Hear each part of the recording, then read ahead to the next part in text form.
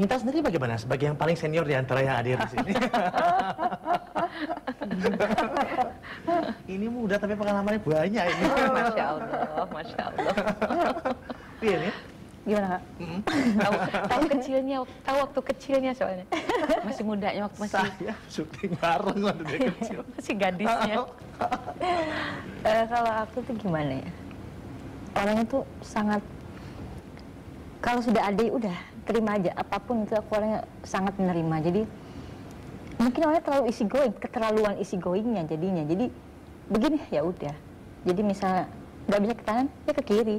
Jadi aku berpikir cuma misalnya dapat sebuah kejadian yang buat aku tuh mungkin sangat berat sekali ya aku cuma bisa ke mana-kemana ke mana aja sih kok lupa ya lupa sholat mungkin ke mana-kemana ke mana aja kok lagi butuh baru nyari nah jadi aku selalu berpikir eh, apa yang dikasih akhirnya ke sini ke sini aku berpikir aku lebih menikmati lebih lebih nyaman mungkin semua pakai melewati proses ya Berarti proses untuk menjadi orang yang itu datang ya? Iya, jadi aku Iya. merasa aku lebih tenang setelah melewati ya bandel lah jadi jadi ini deh, jadi berkurang gitu loh. Sambil berpikir dalam proses itu gitu loh.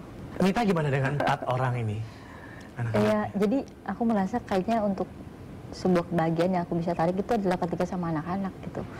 Walaupun mungkin seharian aku harus berkegiatan di luar, aku merasa kalau udah tidur sama anak-anak itu udah nikmatnya luar biasa. Kadang-kadang yang paling sering tidur tuh berempat, bahkan dalam satu kasur berlima. Jadi buat aku itu itu kebahagiaan yang Kurang ya kan harusnya itu. Yang Mbak Dewi ya? iya, anak komplit. Amin, amin. Nah, Mbak Dewi menerapkan sistem apa dalam mendidik anak ini sendiri? Aku lebih menerapkan kepercayaan.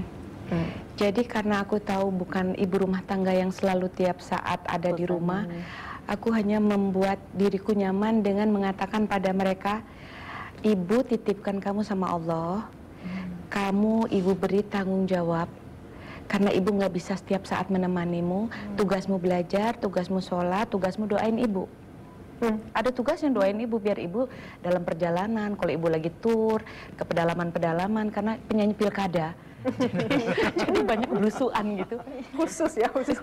Khusus pilkada. Mengkhususkan diri ya? Eh, eh, jarang yang mengkhususkan diri di pilkada. Eksklusif itu Mbak. Terus eh, saya sendiri punya kewajiban mendoakan mereka bekerja untuk bisa supaya mereka eh, belajar sekolah setinggi yang mereka mampu. Jadi bagi tugas itu yang membuat saya menenang menenangkan diri setiap mau terbang pergi ya Allah aku tahu engkau akan mengatur takdir dan nasib anak-anakku.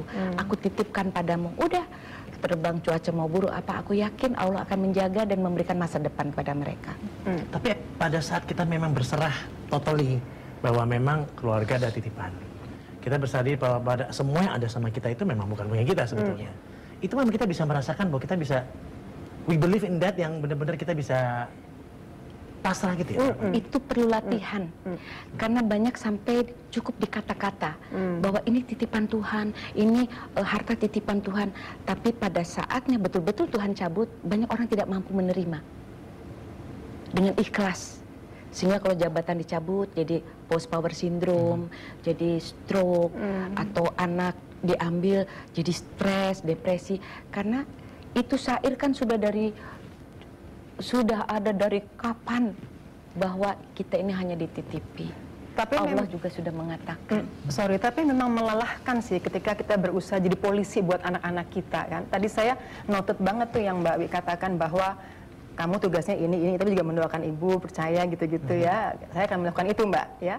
Karena memang melelahkan eh, eh, Afin ketika kita berusaha jadi polisi buat anak kita kan lagi ngapain di mana Berbalik oh, buat itu kita. capek sekali gitu. Akhirnya ya seperti yang eh, Mbak Dewi katakan yang kita bisa lakukan memang kepercayaan dan mendoakan gitu ya.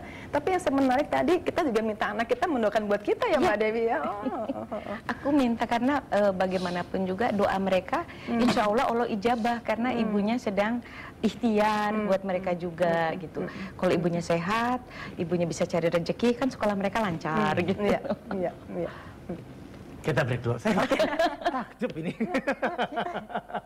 Saat lagi kita kembali bersama mereka bertiga ingin just bukannya aku nggak mau bermimpi mimpi itu mungkin boleh Tapi buat aku lebih baik aku membangun yang sudah ada aja. Gitu.